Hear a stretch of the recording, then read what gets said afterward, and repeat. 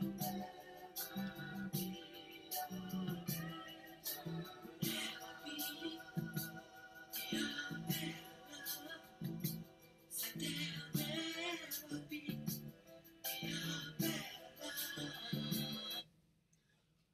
evening. Welcome to Robert's Reading Room and Reviews.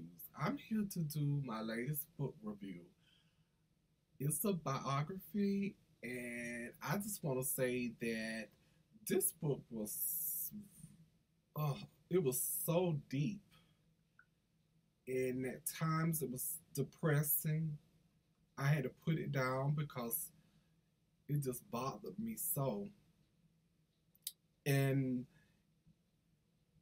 it kind of toward the end of this book it had me feeling kind of depressed i'm just gonna be honest with you i was just feeling bad and i was like i want to it's because of that book because i was so deep invested in reading this book and i felt like i knew the character well i felt like i knew him and i was getting mad and frustrated with some of the things that he did what took place in this book. But with no further ado, I am talking about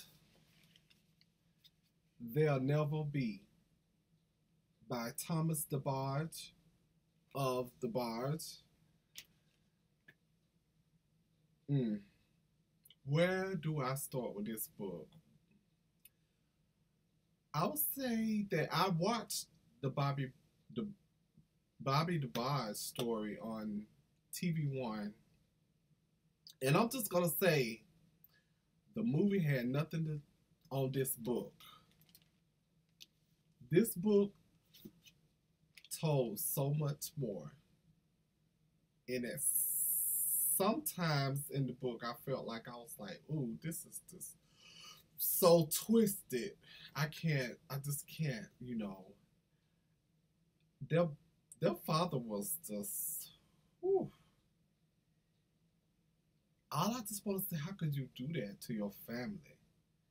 And not only that, what was kind of disturbing is then you have siblings raping other siblings in this book. That was really hard to read. It really was. And I can, well, I'm not going to say I could see, but I just wish that they had counseling throughout their whole family, and maybe that maybe then they wouldn't have turned to drugs like Thomas turned to drugs. Basically, all of them was dealing in drugs. Bonnie, Al, James, Mark. I mean, whew. and I just felt like this book gave insight of what really went on and that the movie did not portray. I would say that and I just got one thing that in this book is if God, you know your calling from God, where you supposed to be for your career, your life, why fight it? Don't fight it. That's Thomas. Tommy, as they call him. He knew he wasn't supposed to be in the secular world trying to play with the group switch. He knew what his calling was, but he rejected God because of the church that he attended. And I can see why he did it because sometimes church people could be the most judgmental people there is. And I just look at them like, who are you to judge? There's only one person that needs to judge me, and that's him. You know, I mean, are you gonna be the one to decide when it's my time whether I go to hell or heaven? No. So I can see why he, because of the Pentecostal church that he was a member of, which was his uncle, why you know, they was very, just very hypocritical.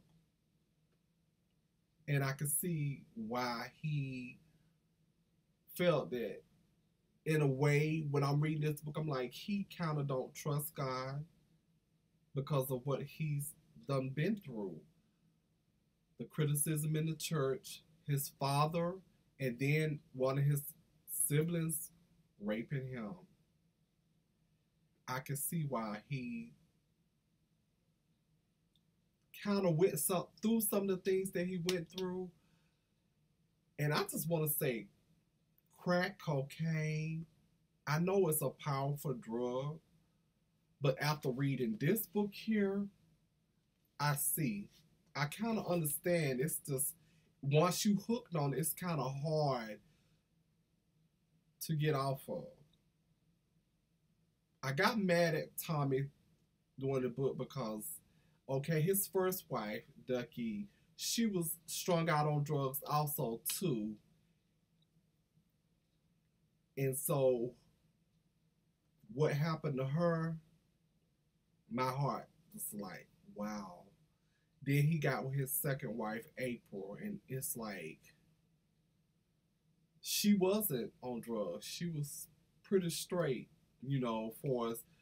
She knew what she wanted out of life. And what got me so upset was okay, you got a good wife, but you still it's almost you depending on you finding some excuse for you to go back to crack and cocaine. And I will say this you should have listened to your brother when he told you, Bobby, on his deathbed, not to deal with Switch. And that's all I'm going to say kind of about that. But I do want to add a little more to that is that watching the special on um, TV One, Unsung, the members made it seem like Tommy had health issue, the reason why he's not touring with them. I don't believe it. After reading this book, I know kind of what this how the story fell. So I don't believe that what they said on Unsung is true. I just want to say this book right here had me all in my feelings. I I felt like I knew Tommy and he was a real friend of mine. So I was getting so frustrated at the time I had to put it down. This book had me kind of depressed. So I'm wanting you, if you read this, be on the up and up. You know, please be on the up. If you know anyone who's struggling, abuse, drug abuse, any kind of abuse, please pick this book up and let them read it. After reading this book, we all go through things we all have issues that comes up in our life. But I will say I have mine, but I will say I am lucky and fortunate and grateful that I have not been through some of the things that some people have been through. And reading this book is a test of that. I'm so blessed.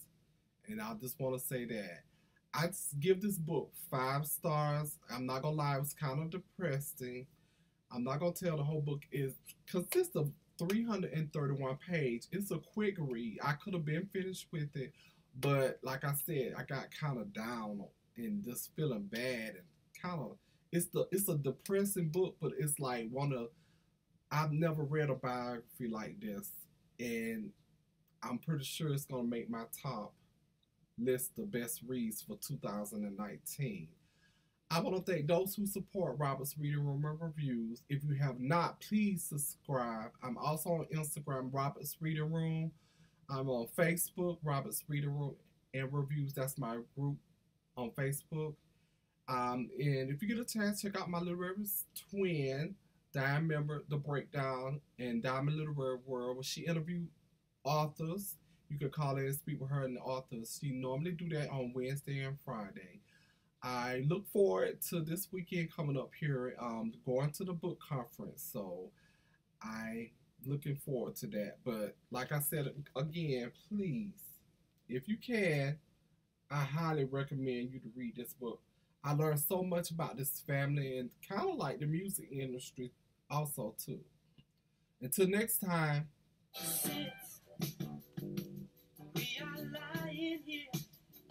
Uh, time you and I